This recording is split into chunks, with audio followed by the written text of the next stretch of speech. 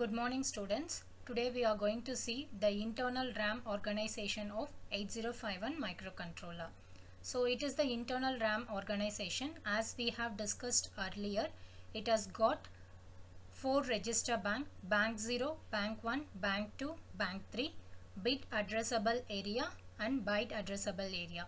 The bit addressable area is of 16 bytes and the byte addressable area is of 80 bytes each register bank it is of 88 bit. You can see here register bank 0, 1, 2, 3, 4, 5, 6, 7.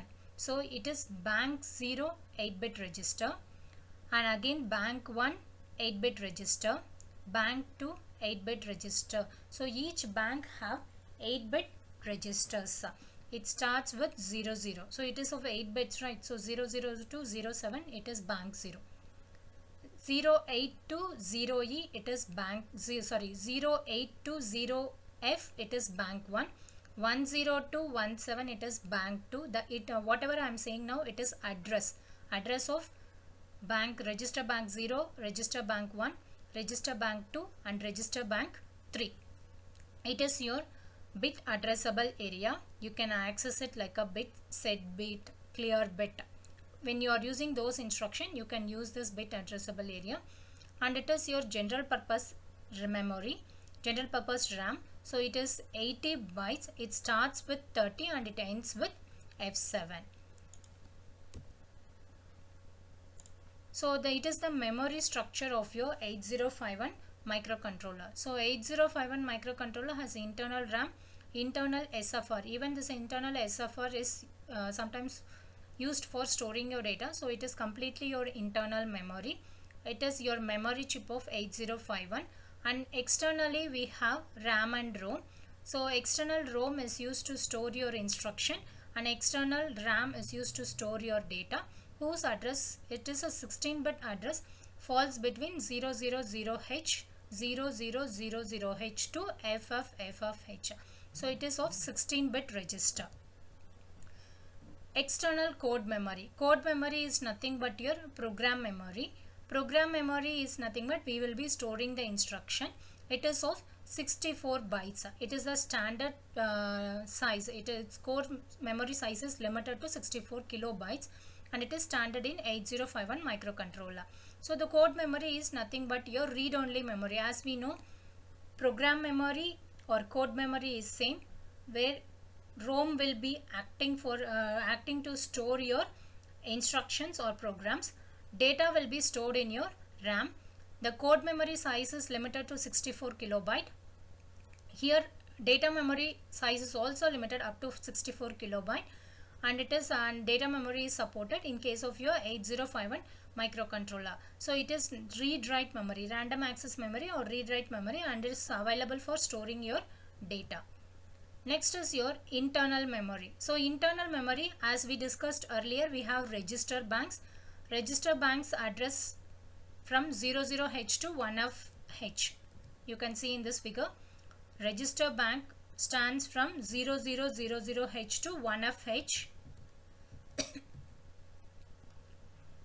register bank 0, register bank 1, register bank 2. This is register bank 2 and it is your register bank 3 so the address starts from 00 to 1F and bit addressable area from 20H to 30H.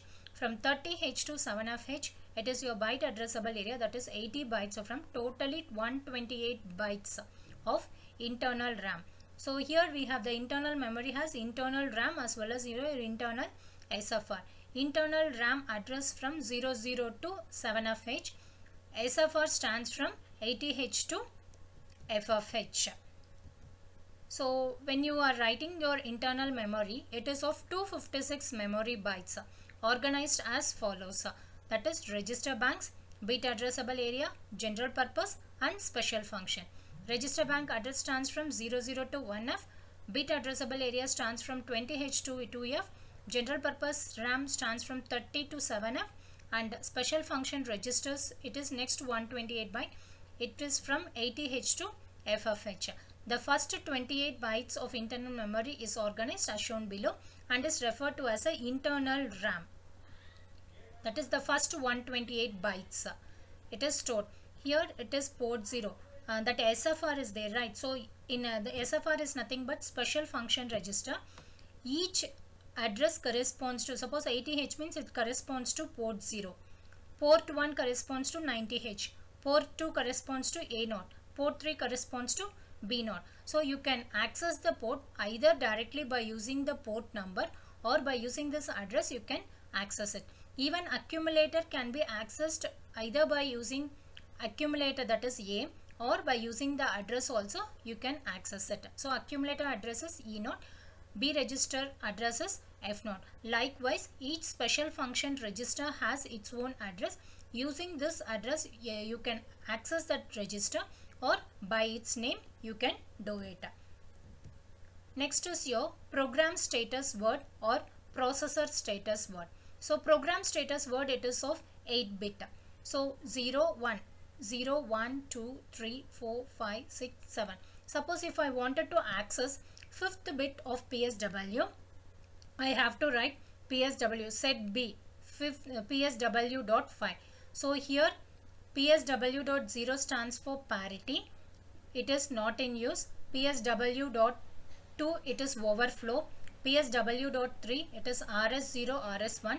Why these two RS0 and RS1 is important in the sense among that four bank of registers that is register bank 0 register bank 1 register bank 2 register bank 3 whatever data we are giving over here based on that that particular register bank will be selected for example if i am giving the rs1 as 0 and rs0 that is if i am giving set b psw dot 3 it means that set b psw dot 3 means rs not will be equal to 1 clear psw dot 4 it means that here it will be 0 so when rs1 is 0 when rs not is 1 your register bank 1 will be selected so whatever you uh, whatever register that is r0 r1 r2 r3 you are using that will be used from your register bank 1 so this but these two bits is responsible for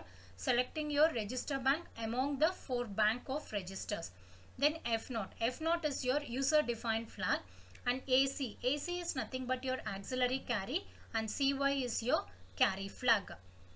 So using this program status word, it is possible for us to identify the parity bit, whether the auxiliary carry bit is set or not, whether the carry bit is set or not, and user defined flag and using these two bits it is possible for us to select the register bank.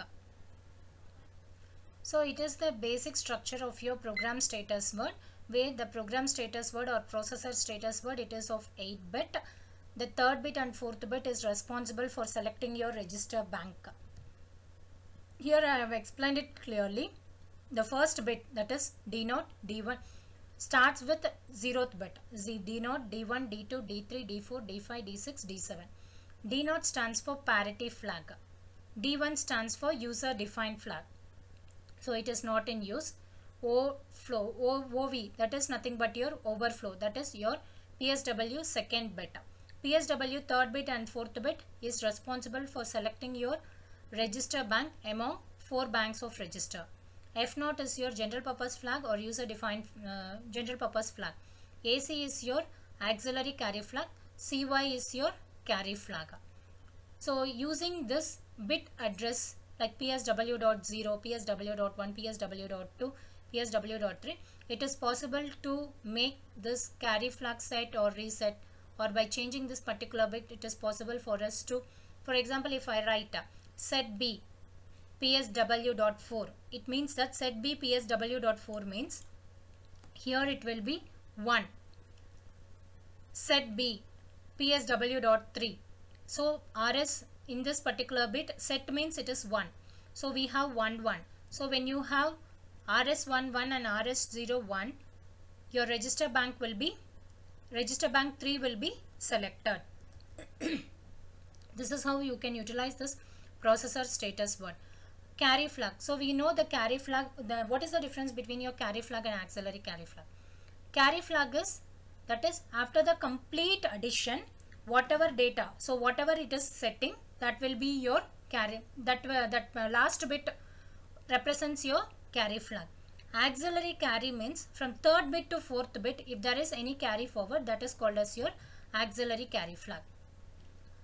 So carry flag means you can say add a comma hash 3. So it means that in accumulator 3 will be there. For example, if accumulator contains FDH, that is FD is your data and we have to add 3 to the content. It means that the content of accumulator will be added to the content of 3.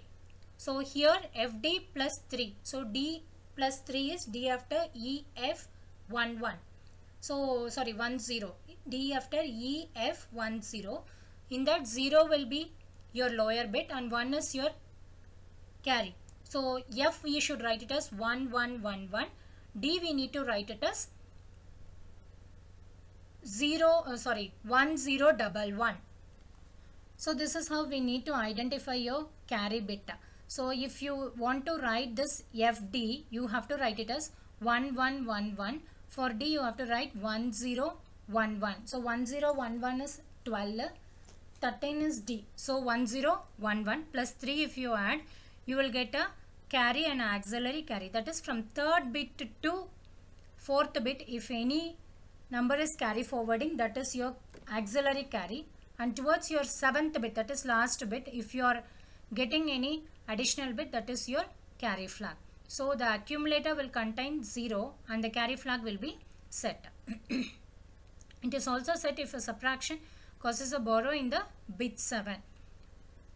So for example if A contains 3DH and a register R3 contains 4B means the instruction sub this is subtraction with the borrow. You are going to the content of accumulator is going to get subtracted with the content of R3. So when you do so, the result will be the carry bit being set because 4B that is 4B data hexadecimal data is greater than your 3D hexadecimal data. So this is how you need to check whether your carry flag is set or reset. parity means so whether pa parity there are two types of parity one is your odd parity another one is your even parity you can consider the example 0 5 so 0 5 i can write it as 0 can you have to write it in the form of a bcd so 0 can be written as 0 0 0 0 5 is written as 0 1 0 1 in binary. And uh, you count the number of ones in this 0 5 so it is having even number of ones. Therefore the parity is even parity because the accumulator is comprises of even numbers even number of ones. Therefore the parity bit is set Suppose if you are having F2H, F, you, you just expand this F2 data in the form of BCD. You can write 1111 F, 2 is 0010. In this, count the number of ones. So here, if you count the number of ones, the number of ones is odd. Therefore, the parity bit is set. So when you are having even number of ones, the parity bit is reset. That is resetted to 0. That is PSW dot 0 will be 0 if you're having if your accumulator is having odd number of ones then your parity bit is set to make the overall number to be even. This is how you can detect the using this parity bit it is possible for us to detect the error.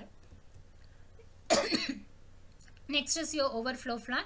So here overflow flag in the sense it is a bit 2 of your PSW and it is possible uh, this helps us to identify your sign number or unsigned number so when it is a signed number or added or subtracted, software can check this flag to see if the result is in the range between minus 128 to 127. Auxiliary carry means you can see from third bit to fourth bit if a carry is generated that is called as your auxiliary carry or we can say if this is a carry out from the lower nibble. Nibble is nothing but 4 bit is equal to 1 nibble. So from your lower nibble if uh, any carry is getting forwarded then it is called as your auxiliary carry. So this is the general introduction of your program status word. So in the next class we'll see the how exactly you're going to interface your 8051 with the external RAM or ROM. Thank you students.